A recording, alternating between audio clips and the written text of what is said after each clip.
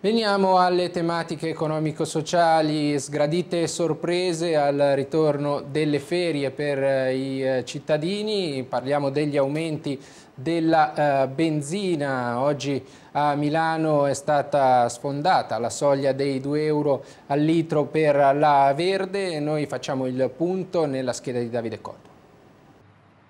In alcuni distributori in autostrada il prezzo della benzina sfiora i 2 euro al litro, colpa dei benzinai che speculano sul controesodo estivo degli italiani. La denuncia arriva dal Codacons, l'associazione dei consumatori che lancia anche un appello agli automobilisti imbottigliati sulle autostrade. Fotografate i listini con i prezzi record. Poi, continua il Codacons, pubblicheremo tutto e si potrà aderire all'azione risarcitoria per i danni da speculazioni sui carburanti dopo il risultato dell'inchiesta della Procura di Varese. L'Unione Petrolifera però non ci sta e ricorda di aver tenuto un atteggiamento cauto e responsabile, consigliando ai gestori prezzi ben al di sotto. In ogni caso c'è da tenere presente che esistono tensioni internazionali che pompano il prezzo del greggio come il possibile attacco americano alla Siria e che in Italia più della metà di quanto un automobilista paga la benzina, il 60%, viene mangiato dalle accise del fisco con un rischio in più all'orizzonte. Se a ottobre aumenta l'IVA ci saranno da pagare circa 2 centesimi in più al litro, con buona pace dell'andamento dei prezzi al consumo ma il Codacons, che afferma di aver ricevuto centinaia di proteste da parte degli automobilisti, torna ad attaccare puntualmente in occasione del controesodo estivo i prezzi dei carburanti schizzano al rialzo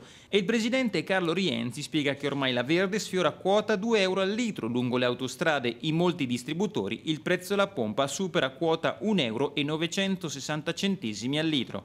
Il fenomeno dei rincari in occasione delle partenze degli italiani è cosa nota, al punto che la magistratura su esposto Codacons sta indagando sulle speculazioni. Poi il sindacato chiama in causa il governo. Letta, invece di pensare ad altri aumenti delle accise, con la clausola di salvaguardia dell'IMU, dovrebbe intervenire per punire i petrolieri, i quali, chiamati in causa, replicano. Ribadiamo il comportamento responsabile delle compagnie petrolifere che per tutto il mese di agosto hanno mantenuto fermi i prezzi a fronte di un aumento di oltre 6 centesimi registrato registrato sui mercati internazionali.